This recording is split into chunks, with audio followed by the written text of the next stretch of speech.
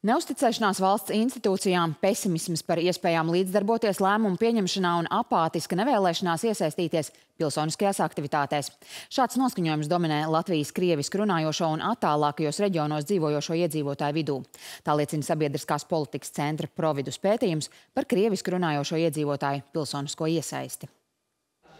Kaut gan kopējā aina ar krievisku runājošo pilsonisko aktivitāti ir dramatiska, tā tomēr nav viendabīga visā Latvijas teritorijā.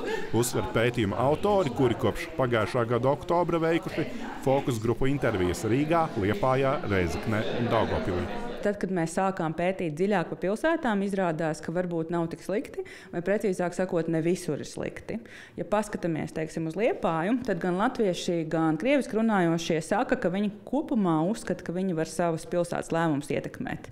Kad viņiem jautā, kā ir ar valsts līmeni, tad atkal gan latvieši, gan krievi saka, ka neko nevar ietekmēt. Pārceļamies uz Daugopili.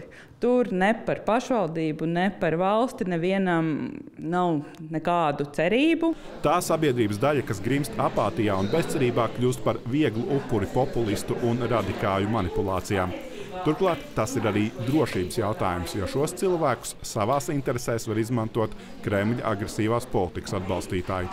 Tādēļ pētījuma autori gan valsts, gan pašvaldības līmeņa politiķiem piedāvā rekomendācijas, kā mazināt bezcerības sajūtu cilvēkos valsts augstākās amatpersonas un vispār pie viņiem ir par maz.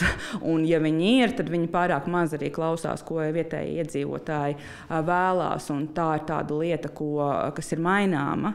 Sabiedrības integrācijas fonds uzsver ieceres par iedzīvotāju pilsoniskās aktivitātes veicināšanu, bieži atduras pret finansējumu trūkumu. Šādi dati, kas iznāk no pētījumiem, pēc tam ļoti noderīgi politikas veidošanā. Uh, es domāju, ka tas būtu ļoti labi, ja mēs varētu tādu programmu, kuru mums šobrīd ir mazākumtautību salēdēšanai, palielināt.